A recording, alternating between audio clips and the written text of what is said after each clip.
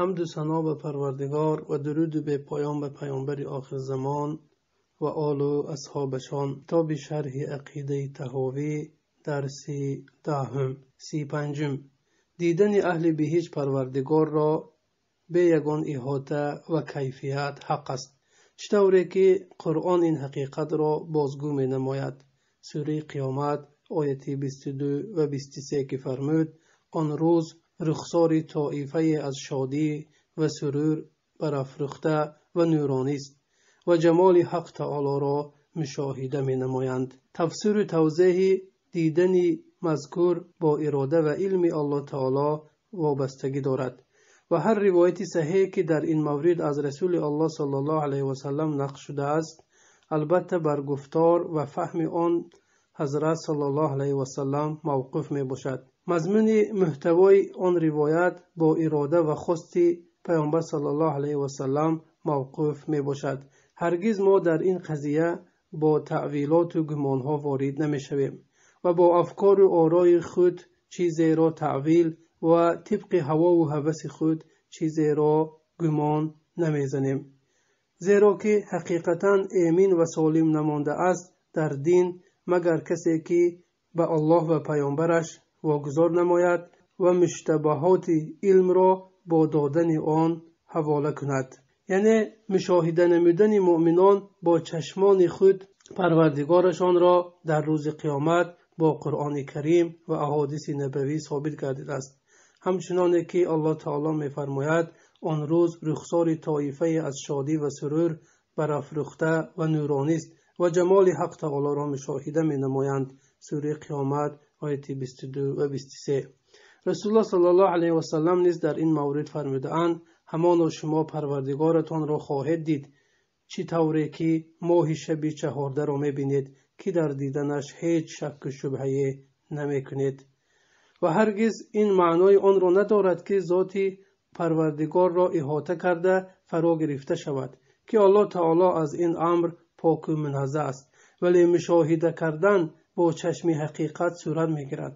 На бо чашми маънавии қалб балки расидан ба дидори ӯст бузургтарин неъматест ки аҳли биҳиш ба он мушарраф мегарданд. Ҳадисҳое ки дар ин боб аз паёнбар сал аллоҳ алайҳи васалам ривоят шудааст тибқи таъидоти имомони бузурги ислом мутавотир ва саҳеҳу дуруст мебошанд. Муроду мақсад аз оятҳо ва ҳадисҳо зоҳири онҳо буда ба умқи он ҳеҷ касе роҳ ёфта наметавонад. Хулосаи сухан ин ки ҳақиқатан муъминон дар рӯзи қиёмат парвардигорашонро ошкоро мебинанд. Ва мо тамоми аҳодис ва ривоятҳое ки дар ин маврид манқул шудааст тасдиқу бовар мекунем. Ва худро ба таъвил кардани ривоятҳои мазкур ба василаи фикрҳои ноқис ва кӯтоҳи худ хаста намекунем. Ва низ бо ҳавову ҳаваси худ дунболи чизҳое намегардем ки мухолифи ҳақиқати ривоятҳои мазкур бошанд. Зеро ки инсон ҳар гоҳ бихоҳад ки дар дини худ аз инҳирофу гумроҳӣ солим бимонад лозим аст бар ӯ ки ахбору ривоятҳои мураккабро ба аллоҳ ва паёнбараш вогузор намояд. Ва чун амре аз ин қабил бар ӯ муштабаҳ ва мубҳам гардад. Мақсади онро ба холиқу офаридгораш вогузор намояд чӣ тавре ки аллоҳ таоло фармудааст то он ки гурӯҳе ки дар дилашон майли ботил аст аз пайи муташобеҳ рафта ва имтиҳон шаванд. То бо таъвили он дар дин роҳи шубҳа ва фитнагарӣ падид оранд. Дар сурате ки таъвили онро касе ҷуз аллоҳ надонад. Ва аҳли дониш гӯянд мо бо ҳамон китоб гаравидем ки ҳамон оятҳои муҳкам ва муташобеҳи қуръон аз ҷониби парвардигори мо омада ва бар ин дониш ва бар ин маъно танҳо хиратмандони олим огоҳанд. Сури оли имрон ояти ҳафт. Сишашум қадами ислом собиту устувор намегардад магар бар асоси таслим ва фармонбардории аллоҳ таоло аз ин рӯ ҳар кас фарогири чизеро ки донистанаш мамнӯъ аст талаб намояд ва бо вогузоштани масоили хос ба зоти парвардигор фаҳму идрокаш қаноат нанамояд. Ин амр ӯро аз тавҳиди холис маърифати соф ва аз имони саҳеҳи дуруст боз медорад ки дар натиҷа миёни куфр ва имон тасдиқ ва дурӯғ пиндоштан иқрор ва инкор кардан дудила шуда ба васвасаву шакку гумонҳо мубтало гашта гумроҳ мешавад ки аз ин ӯ на муъмини тасдиқкунанда бармеояд ва на мункири дурӯғпиндоранда яъне бар ҳақиқати ислом собит ва устувор намемонад.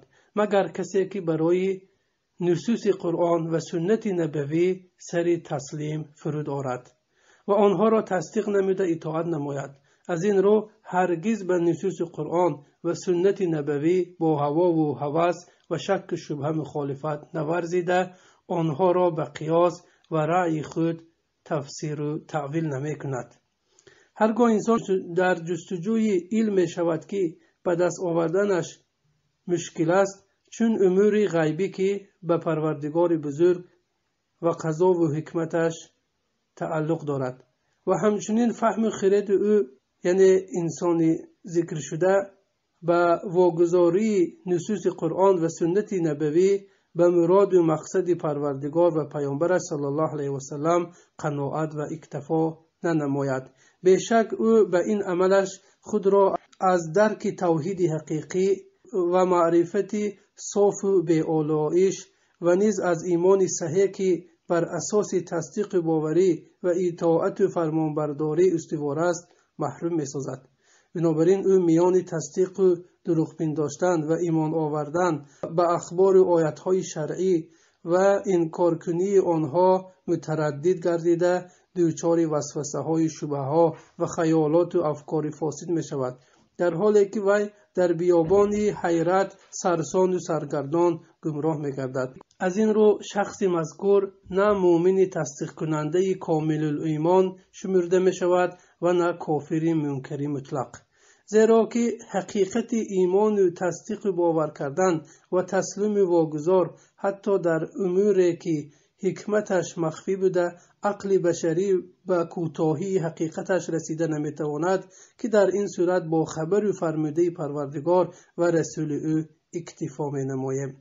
Сиҳафтум имон овардани аҳли ислом ба дидани ҷамоли парвардигор саҳеҳи дуруст шумурда намешавад ки эшон дидани дидори парвардигорро бо ваҳму гумони худ тафсир намуда ё бо фаҳму идроки худ таъвил кунанд зеро ин таъвили дидан ва таъвили ҳар маъно ва сифате ки ба рубубияти парвардигор нисбат дода мешавад тарк намудани таъвил ва пойбандӣ ба таолими аллоҳ ва расули ӯ мебошад ки дину оини муслимин бар ин эътиқод устувор аст ва ҳар касе ки аз инкор ва ташбеҳ дурӣ наҷӯяд дучори лағжишу иштибоҳ шуда танзиҳоти зоти илоҳиро ба ҷон овардааст.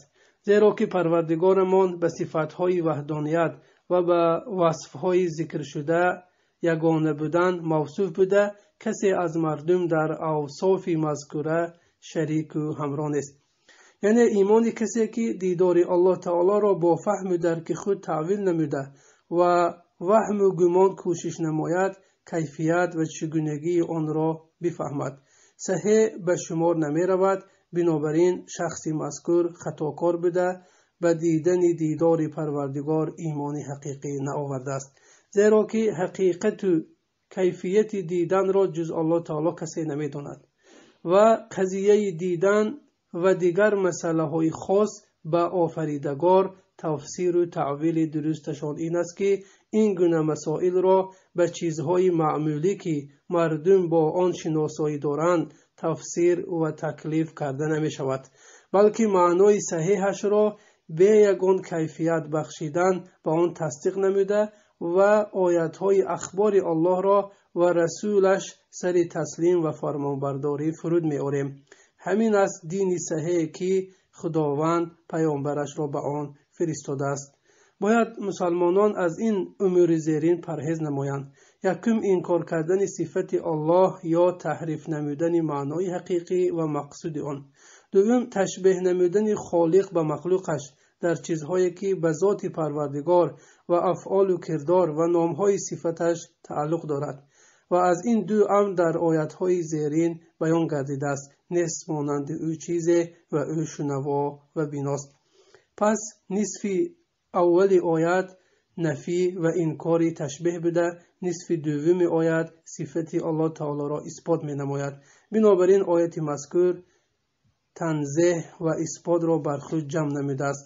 Ва ҳар касе ки аз ин ду амр нафӣ ва ташбеҳ дурӣ наҷӯяд дар ақидаи худ дучори хатову иштибоҳ гашта ва тақдиси худовандро ки воҷиб аст ба ҷой наовардааст танзеҳ яъне аллоҳ таолоро аз шарику амбоз ва мисли монанд муназзаҳ дониста эътиқод кардан мебошад.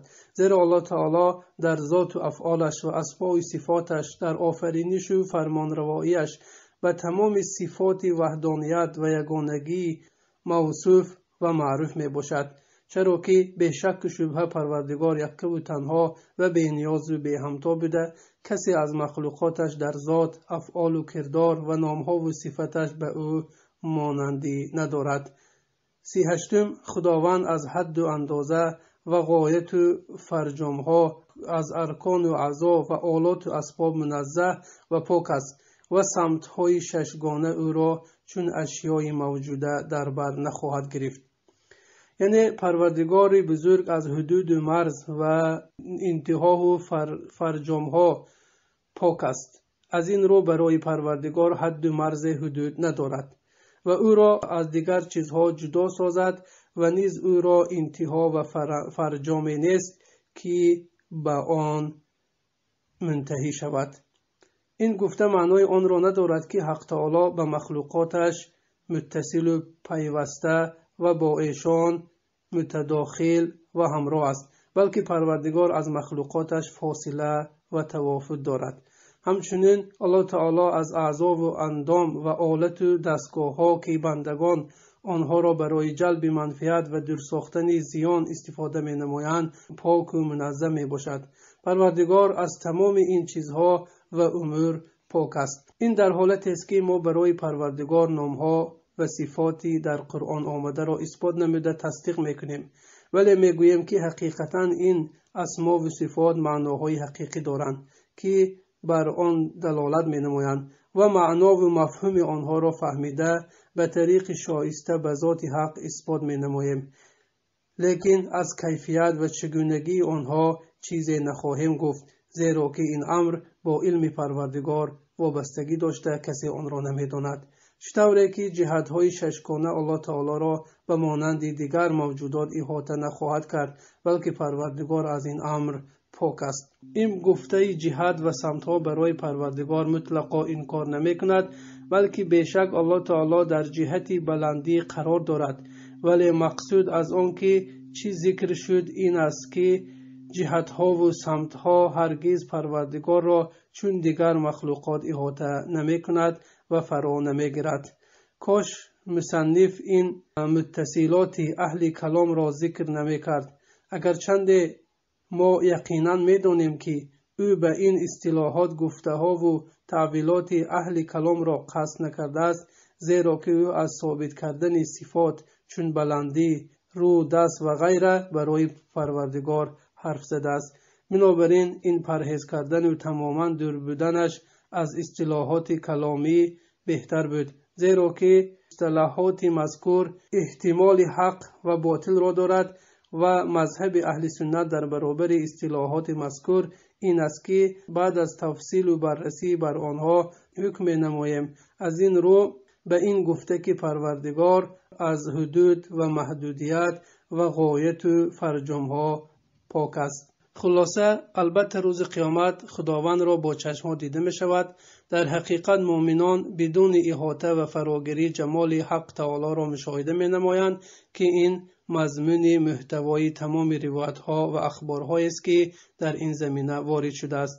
Ва ҳар мусалмон лозиму зарур аст ки аз таъвил ва суханони аҳли таъвил дурӣ ҷӯянд ва бидонанд ки аллоҳ таоло аз чизҳои ҳодис ва пайдошаванда ва аз шабоҳату монандӣ ба махлуқот пок ва муназзаҳ мебошад